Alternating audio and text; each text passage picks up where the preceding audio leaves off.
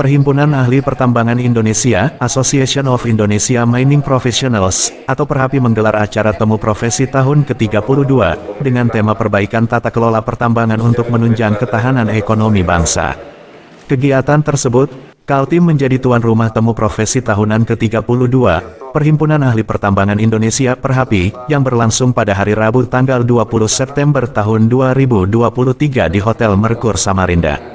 Diketahui bahwa, Sebelum dilaksanakan temu profesi tahunan tersebut, juga dilaksanakan beberapa rangkaian kegiatan seperti Jalan Sehat Bersama Masyarakat, Perhapi Gustu Kampes, menanam 500 bibit pohon, dan menyusur Sungai Mahakam.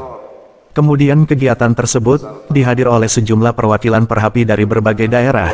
Sesuai data yang dikutip dari panitia, perwakilan yang hadir berjumlah 26 perwakilan Perhapi.